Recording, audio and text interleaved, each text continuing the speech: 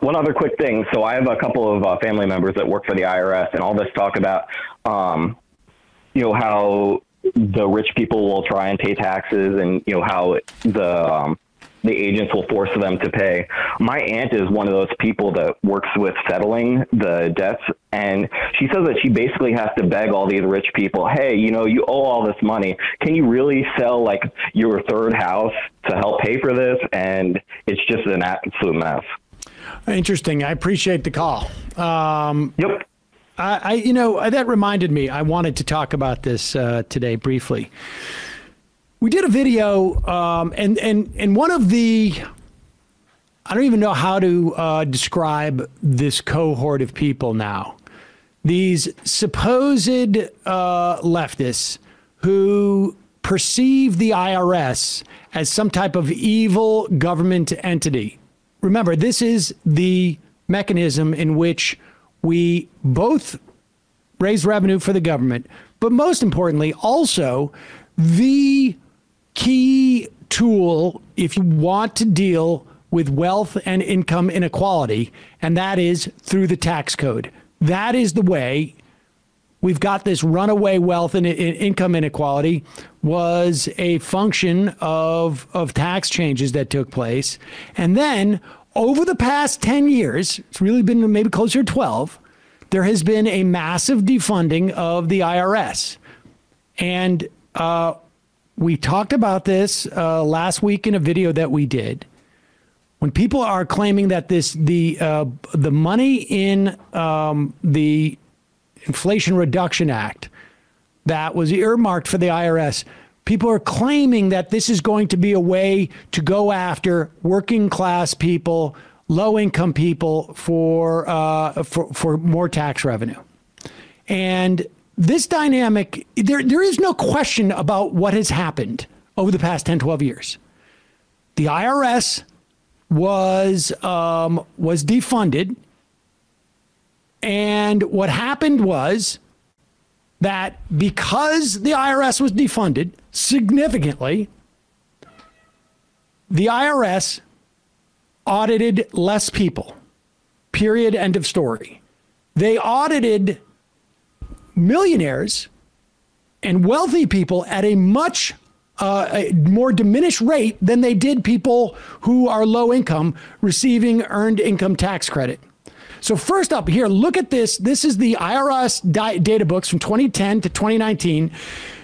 This is, if I was to show you the funding of the IRS, the graphic would look almost identical to this.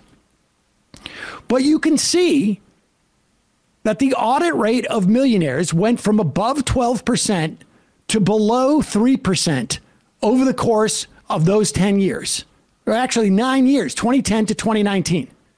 That is simply a fact. It is also a very easily Googleable fact. Here's what also happened in real terms. You could see in 2010, the top 1% of taxpayers the percent of returns that were audited was about 4.8% or so. And the percent of returns that were audited for earned income tax credits, which is actually a payment from the government, was at about 2.5%. By 2018, because of reductions in the budget of the IRS, both cohorts dropped but the earned income tax recipients dropped at a much slower rate relative to the top 1% of taxpayers. So in 2010, the number of uh, top 1% taxpayers uh, returns that were audited was almost a little bit less than double that of the EITC.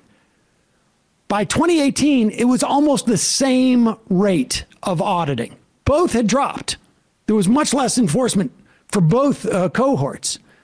And so there is every reason to believe. Well, uh, let me put it this way past performance is no guarantee of future uh, performance. However, between that, those facts,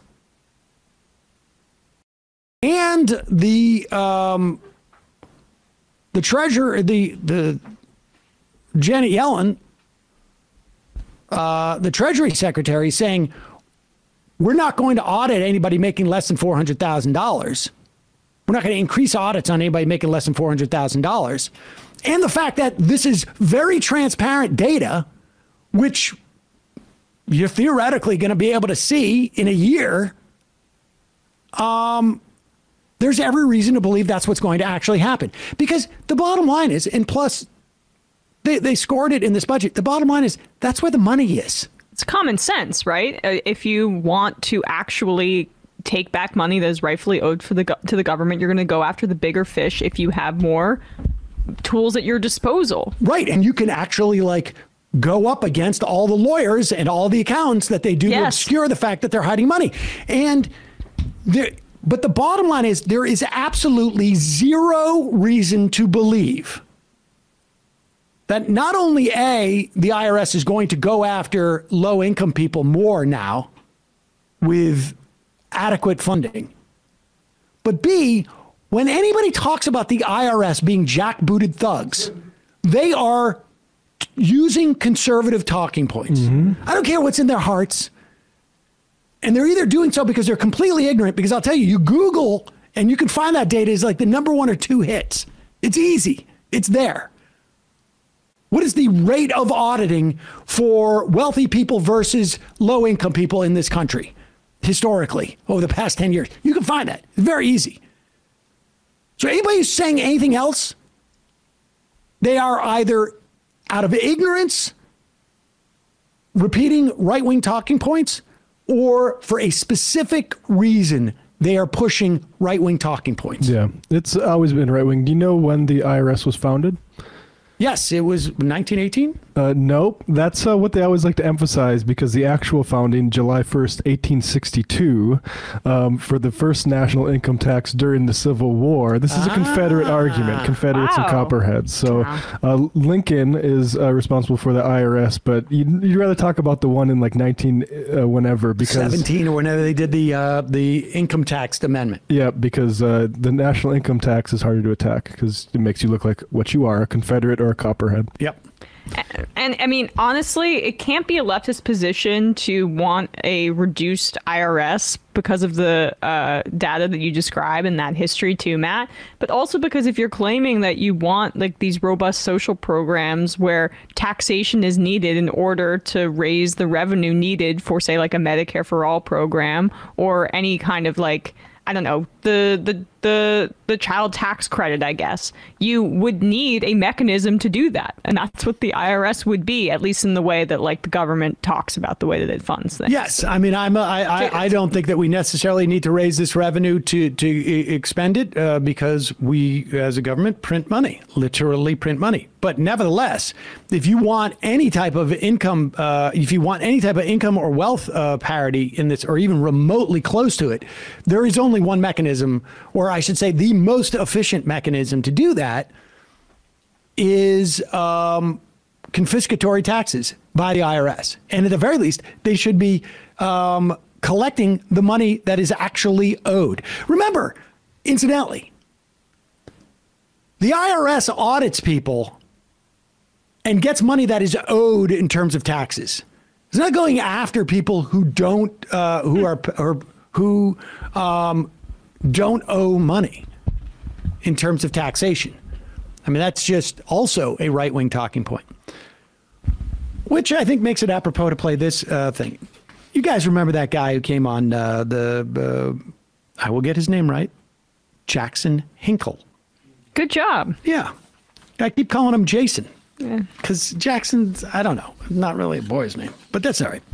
Uh, I'm joking. Uh, no, I just I, I, I said Jason before, and it's so just yeah, it's easier. It rolls more off the tongue, I guess. And uh, generally, I'm not terribly uh, interested in what this guy did, but this was funny. Uh, I don't know. I think somebody tagged me on uh, Twitter or something with this, but uh, OAN is the Trump um, Trump network, right? I mean, they're the ones who came out there. This and Matt brought this up the other day, and I, I thought it was like a half joke. Um, the idea of MAGA communism.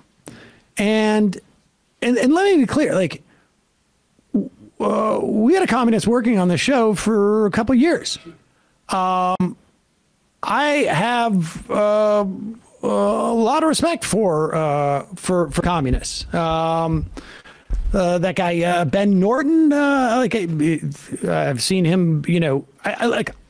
For me personally, I think it's a little bit utopian uh, and difficult. Um, uh, Mike over at uh, Empire Files too. I have a lot of respect for.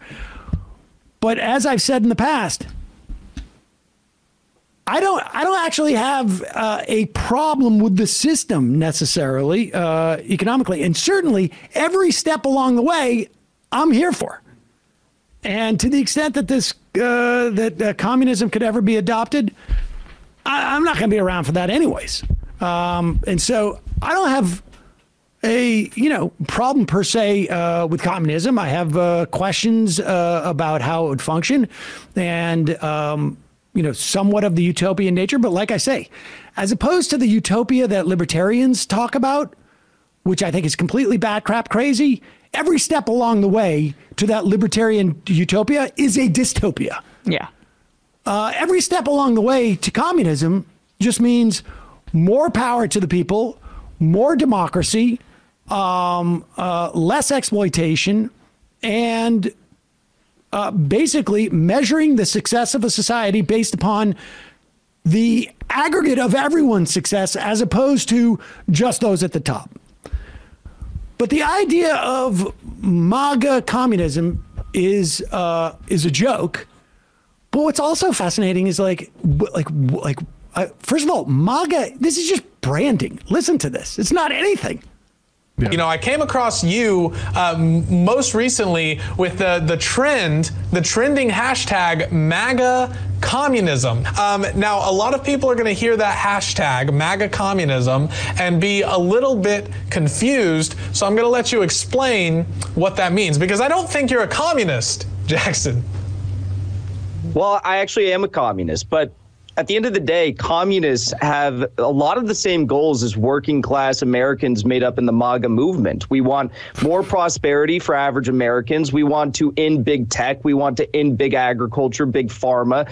We want to stop the monopolies and the subsidization of monopolies all across America. And we want to reinstill patriotic We should also education. say, like, stopping the monopolies is also on the list of things that Elizabeth Warren wants Yeah. to do. Yeah, like I consider myself a Marxist, and but when I bring in my sort of like antitrust spiel, it's not like coming straight from Karl Marx. That's No, no, no, it's not. In fact, in fact, I mean, I don't know, uh, it, it, uh, you know, how, um, you know, what his branding is today.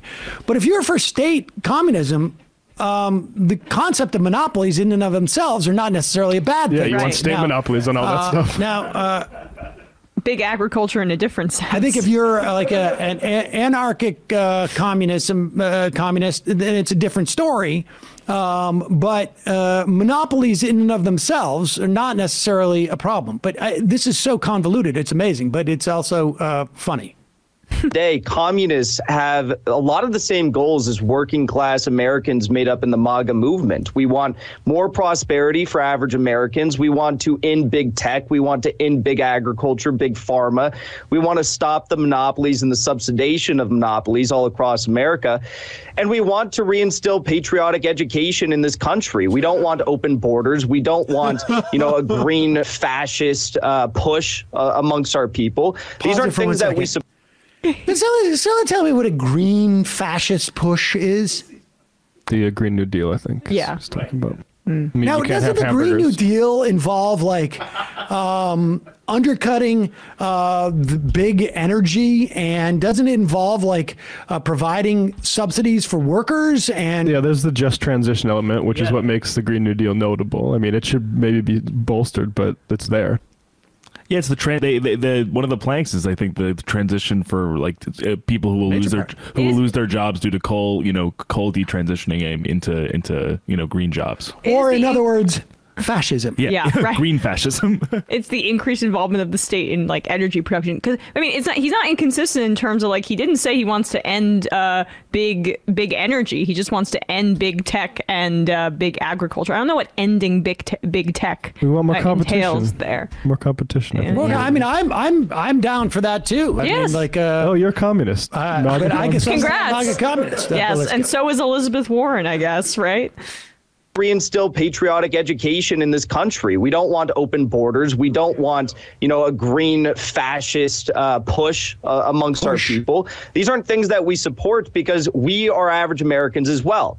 And the synthetic leftists today, the Democratic Party and the so-called progressives, they're far close. Though they might call themselves socialists, they're far closer aligned with, you know, the quote-unquote national socialists in uh, Nazi Germany than Huh. any sort of, you know, socialism Pause that for a second. see. Wait a second. What, what is? First wait off, who just ta- called for patriotic education well, wait. What is what does quote unquote national socialist mean? Like, I don't understand. Like, why? What? Like, what? What? What's what's the Well, what's around that? I What's think the- what he means is like you know how Tucker, uh, this guy's idol, always says, "I don't even know if Nazis exist." I Yeah. think that's where he's saying like quote unquote like they always say national socialists even though they don't exist, but they actually do exist because it's AOC. I know it's such a weird, uh, weird sort of construct. But uh, all right, all right, go ahead.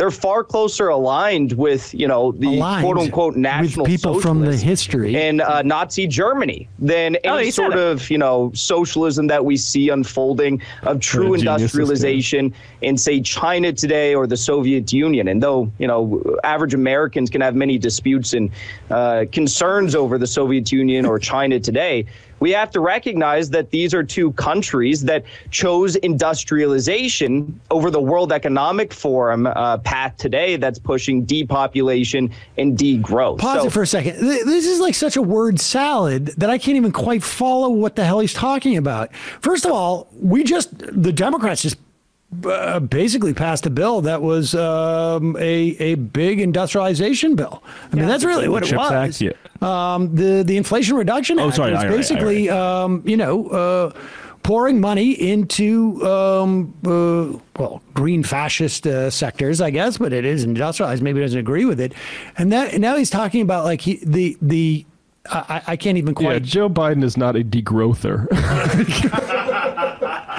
But it's this is I mean, he says he's not for open borders. He's not for the Green New Deal. He's for like larger investment into industrialization. So, bro, you're just like Joe Biden. I like that this like what like twenty year old kid is saying we need to reinstill patriotic education. Like, what do you mean reinstill? Like, I, and it's the Democrats who are the Nazis. As I say, we have to close the borders, and uh, I want the, our education to be more reflective of like American might. I'd like to see what his patriotic education looks like. yeah, indeed. All right, let's continue. I, it's just like a huge word salad. It's fascinating. These are two countries that chose industrialization over the World Economic Forum uh, path today that's pushing depopulation and degrowth. So, we as communists want to unite with MAGA voters and finish the job of Donald Trump, uh, which is, you know, uprooting liberalism from America and getting the globalists out of the MAGA movement because there's so many globalists that are trying to Well, pause it for a second. Now, wait a second. So Donald Trump started the job of getting rid of globalists in the MAGA movement. Were there globalists in the MAGA movement? He he mentions two at the end that he thinks are like quote unquote. Oh, let's. see. I. I wonder. I wonder who they are. But wait a second. There are globalists in the MAGA movement. Are they secret globalists? I mean, did who let them into the MAGA movement? well, Trump did. But why would Trump uh, let Yeah, them in wonder, just to get right? them out? Oh, it's a whole Q thing. I get it.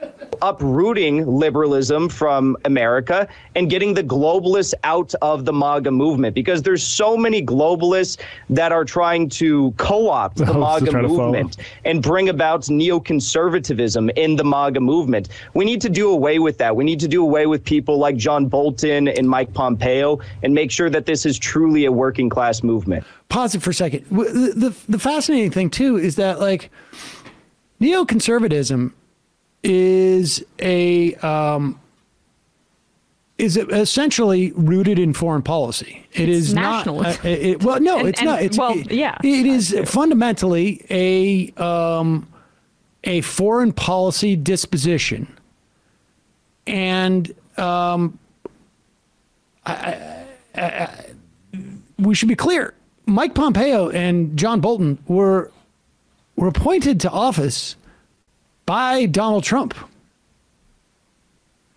Um, but I guess it's I don't know. Maybe globalism is the biggest threat that U.S. faces. I, I just wonder how they're using globalism. Well, that's the thing is like they tried in Jackson, they try to project onto Trump this anti-neoconservative actor, but like he's perfectly fine with neoconservatives unless they do something against him individually. Right, exactly. the, the idea. But here, let's just hear this part because you're going to need this. Uh, I just thought he was for sure going to say Mnuchin, right? Like I thought that that was his going to Well. be Oh, immediately. what- well, hold that thought. Okay. Here we go.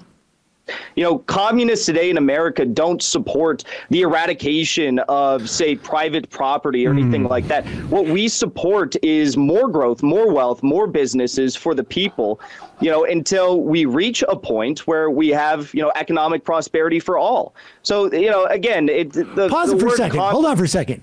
and now this part I did not know, and I I learned false. something uh, about communism.